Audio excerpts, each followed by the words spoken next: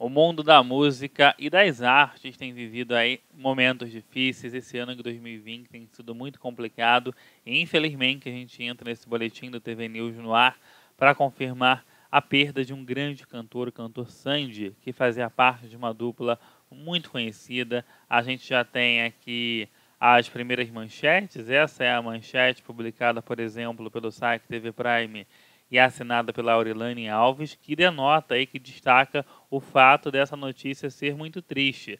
Mas antes de eu trazer mais detalhes para você, eu lembro, prazer, eu sou o Fernando Borges, esse é o TV News. Se você não está inscrito no nosso canal, é fácil se inscrever. Basta aí clicar no botão vermelho de inscreva-se, ativar aí o sininho para estar tá sempre recebendo as nossas notificações e, claro, dá o seu joinha, dá o seu ok, porque é fácil, simples e nos ajuda bastante aqui no YouTube. lembrando, você pode dizer o seu nome e a cidade de onde você está falando e me seguir lá no Instagram, arroba jornalista Fernando Borges. Segue mesmo, sempre um prazer. Que dia, né, gente? Que ano, muitos momentos difíceis, mais uma perda para a gente que está aqui entrando e comunicando ao público dessa vez do cantor Sandy. Vamos então passar os primeiros detalhes a respeito dessa informação publicada pelo site TV Prime, que lembra aqui o número de vítimas né, desse ano, especialmente famosos.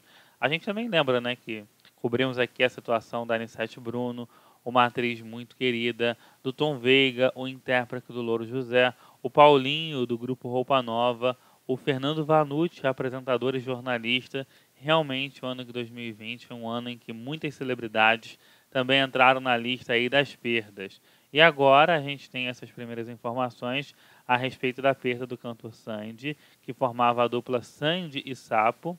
Ah, de acordo com as primeiras informações, um infarto, gente, teria levado esse músico. A gente agora começa a ver algumas fotos desse grande cantor, o cantor Sandy ele que era muito querido, é uma, uma das capas né, do disco dele. Formou uma dupla durante muitos anos, a dupla Sandy e Sapo. E assim como sempre a gente faz nesse tipo de cobertura, a gente vai terminar com uma imagem do sangue, desejando, claro, que ele descanse em paz.